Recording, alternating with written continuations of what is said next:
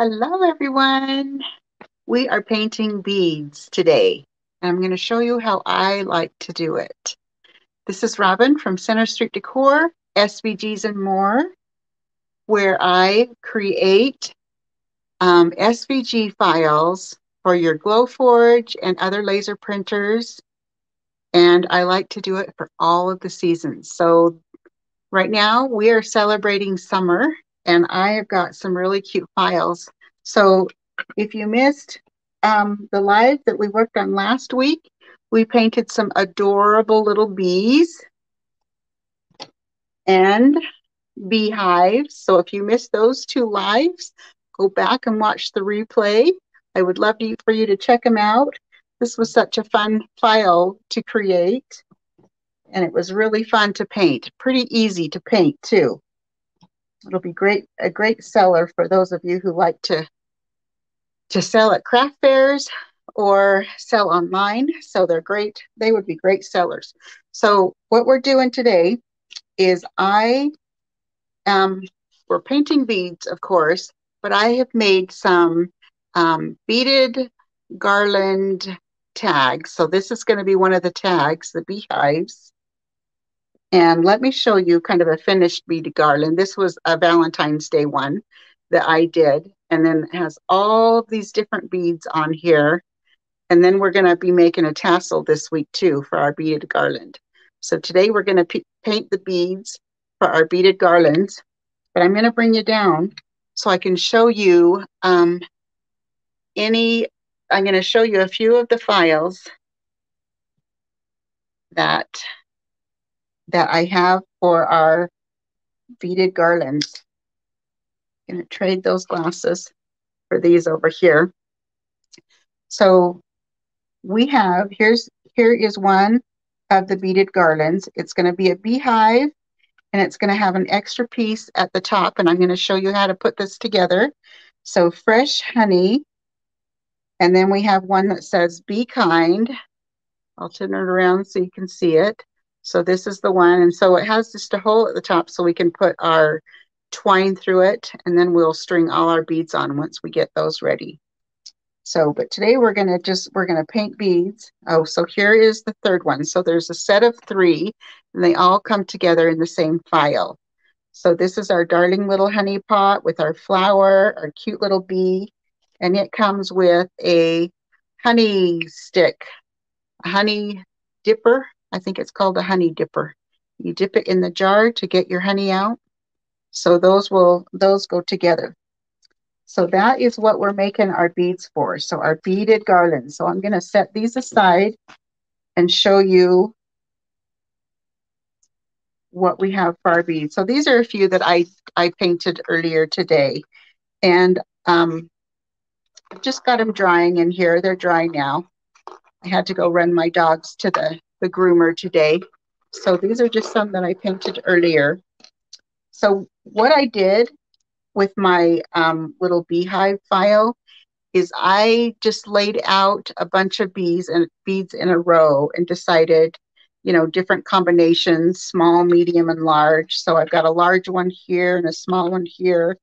And then I decided what colors I wanted. So what I did is I just kind of did a, a just a sketch, a rough draft of you know, small, medium, and large, and then what color I wanted them. And then I just put them in little baggies just to separate them for now. So these are all just going to stay a natural color. So those will not need to be painted. I've already painted the brown, and I think I only need three of the large brown. So, and then I painted the ivory ones. So the ivory are all ready to go. The ivory's ready to go. And then our brown beads are ready to go. So the only other ones that we need to paint are, we need to paint our gold and our black. So my favorite way of painting beads is to use bowls.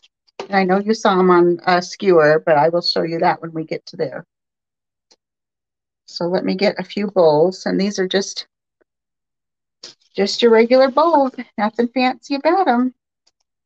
So let's go ahead and we'll do our gold, our gold first. And this is the same color that I painted our beehives. So I'm just using the same color right here. So we're going to do our gold right here. And I'm just going to squirt just kind of just kind of a line right there. And we may need to add more.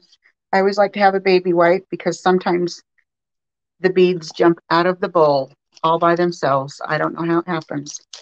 Okay, so here's all of the ones that I want to be gold. And then what I do is I just start swirling them.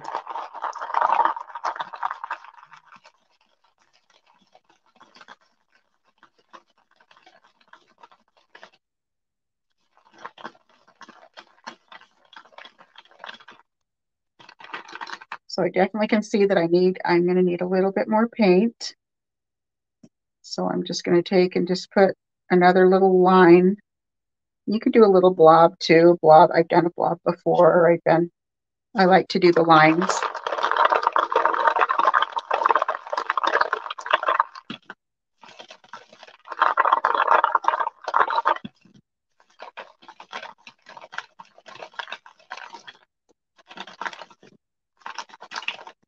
Oh, see, he just jumped out. So I have my baby wipe to wipe off my, my surface area.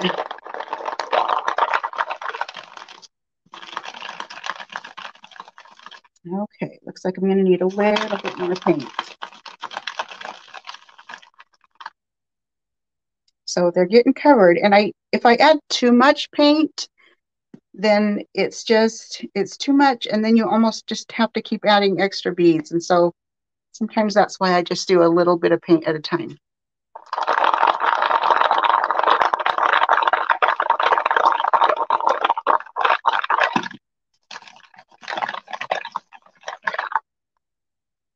Okay, looking pretty good. If you find any are clumped up together and just will not let go of each other, just kind of just push them away from each other.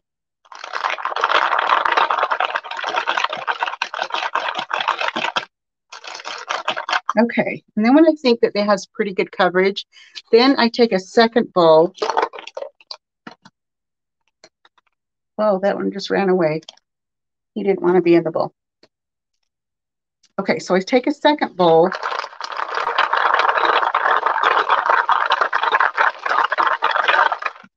And what that's going to do is it's just going to kind of get rid of any excess paint they might have. Sorry, this is probably noisy.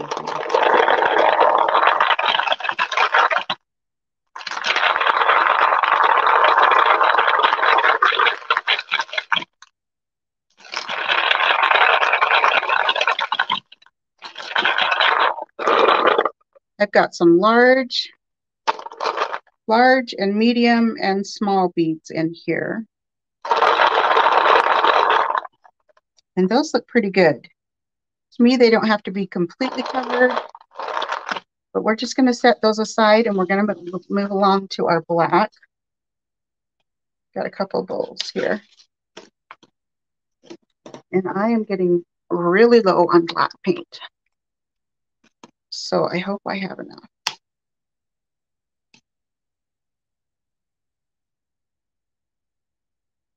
Okay. So here's my little package that says black. So I know that these are all going to be black.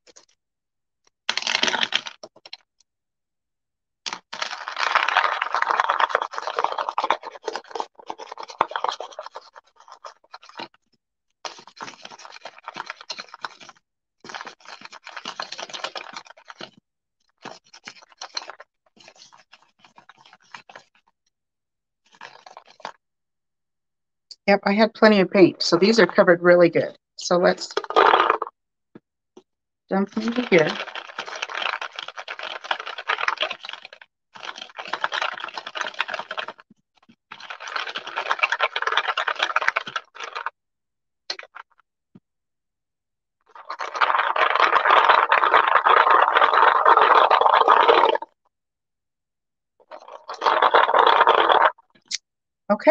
So that's all I do with my beads. And what I what I usually do is I just every few minutes I just go ahead and shake a bead. I shake the beads so that they they don't dry onto the onto so they don't dry onto the bowl. Just keep them going. Now, I did have my skewer sticks. Now, let me just show you um, why I had my skewer sticks. So sometimes when you do this method, you will get like the center part will get really light. And if you don't mind that look, you can just leave it just like that. Um, sometimes if you get some beads that are not fully covered, you might have some beads that have some white areas and and these are actually not too bad. But what I'm going to do is, if you want, and I just keep using these sticks over and over. So what you might want to do, if you get some beads that don't have full coverage, if you want to fix them just a little bit,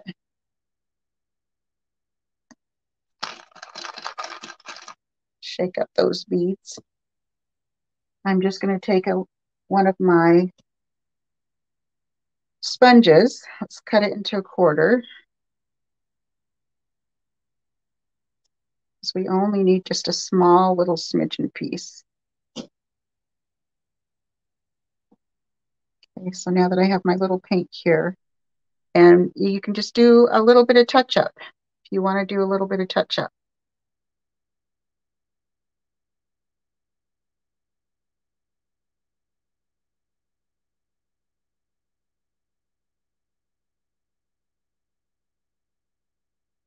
So that's a handy thing to do. If you have some areas that you want to fill in.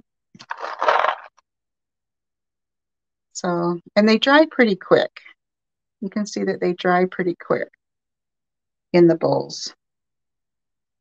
Just dab a few areas if you find you want to just clean up. And, and I don't do all of the beads like this. I mean, some people like to paint them on a stick, and you know, that's another option too. You can do that too. Hi, Jennifer. So I'm painting beads today, getting ready to do our our beehive beaded garlands.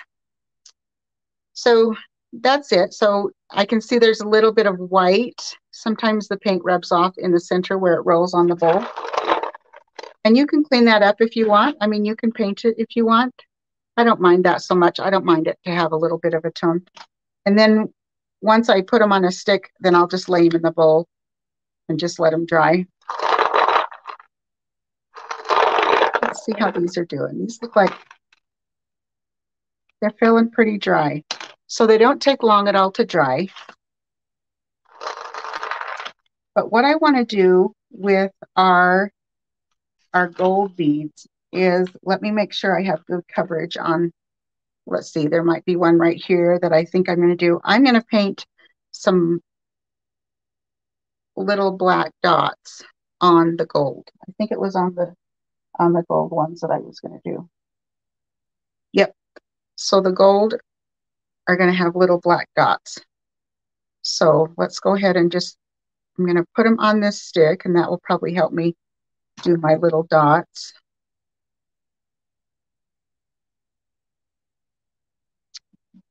Get a little bit better coverage.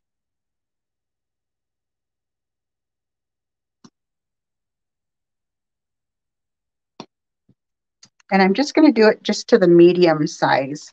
So I'm going to pick all my medium size out of here because I have small, medium, and large in there. So we're just going to put them on the skewer. Here's a couple more.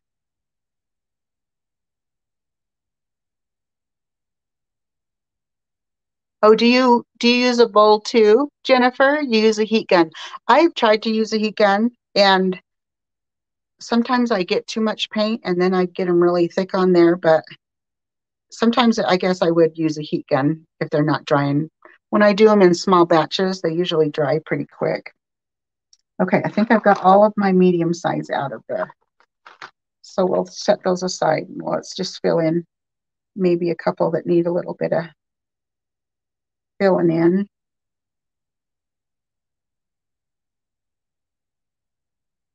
Okay, they look pretty good.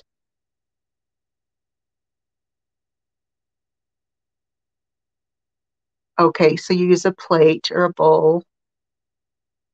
Yeah, I know if I used a plate, they would all just, they would get up and just run away. I have trouble with keeping them in the bowl sometimes. Okay, so I've got those ready. And that little bit I put on there won't take much time at all to dry. So let's go ahead and just put some dots on here. And I'm going to get my black paint out of here. I need to get, actually I need to get a, actually we'll just use a bowl. I don't know. I'm trying to think, what can I put my paint on? Because I don't have any of my styrofoam plates handy. So I'm going to grab a piece of tinfoil.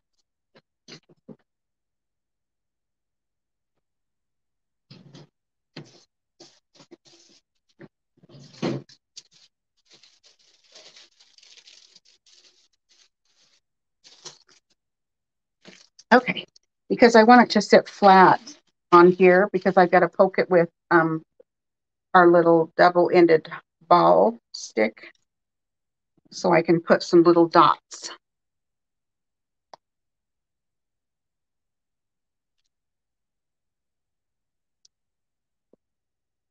Okay. Okay, I'm just going to use the small end and I'm just going to dip and put just some random dots.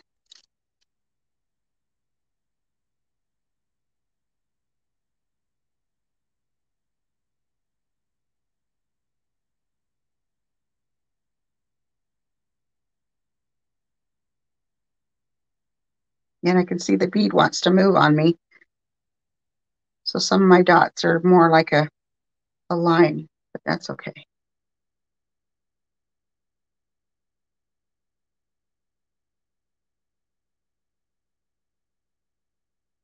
You see?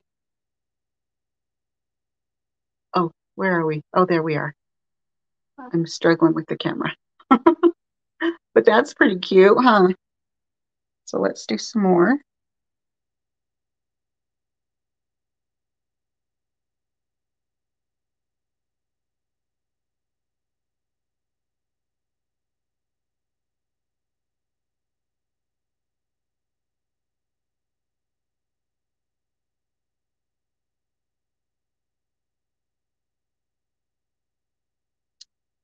Takes a lot of concentration, you guys, to make little dots. Little dots on these balls, so I'm really concentrating here.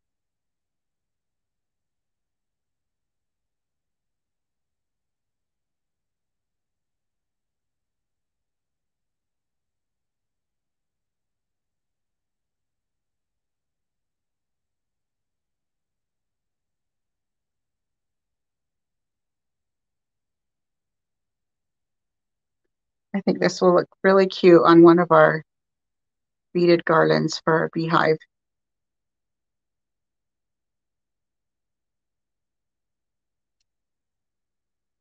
Maybe on one of some of the black beads, I can do a little bit on there too, dots on some of the black.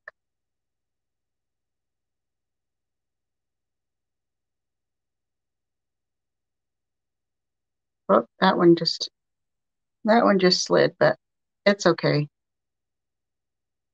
Once you get it in the beaded garland, it will just, it will all look just fine.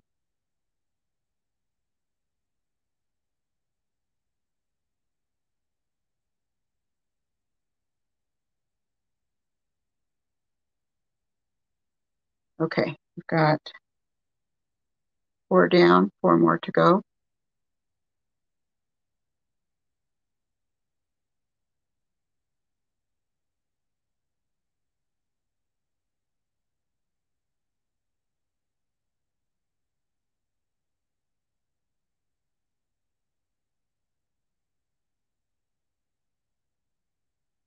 I'm almost kind of doing a, a pattern now. It seems like I just go down the middle And then go around down the outside.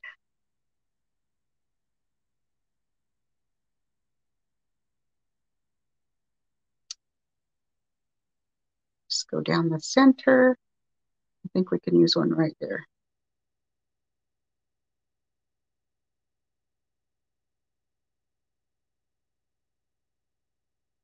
And sometimes the bees, the beads get a little bit, they start rotating on you when you don't want them to.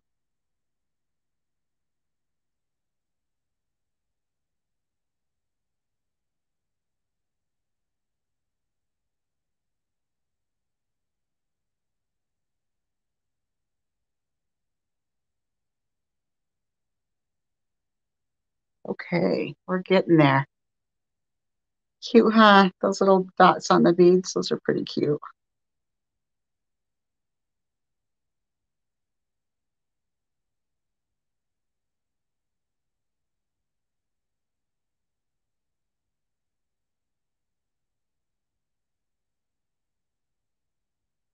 And some are large dots and some are small, and that's okay. I'm okay with them being different, a little bit different sizes.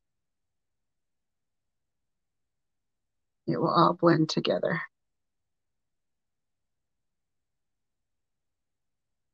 Okay, one more.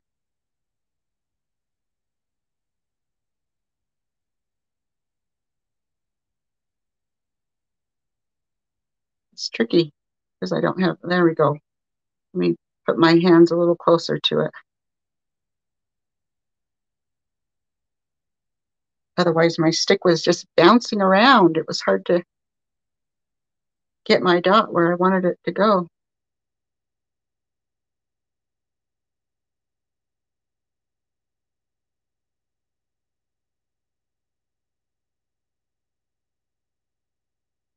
Oh, I just touched one of the other beads. That one right there. Smudged it a little bit with my finger. Do you see? I have little dots on my finger. That's okay. It's just a little smudge. If I need to go in and fill it with a little bit of gold paint, I can do that. But these are really cute. And just lay them on our plate. And then they can dry. The first ones are probably dry. It was just that one that I painted second to last that I stuck my finger in and got paint on me. Got little dots on me. Okay, trying to see if we want to do something on these beads. If we want to do, I wonder if we could do like little lines or if I could do, should do polka dots on them. Because I know with the gold ones, I'm doing, I'm doing one of the um, combinations is the black, the gold, and then the black. Let's see. One of the combinations is, yeah, the gold, the black. Oh, and I think I was going to do this. I was going to do one of the, oh, a natural one. Natural is the ones that I didn't paint.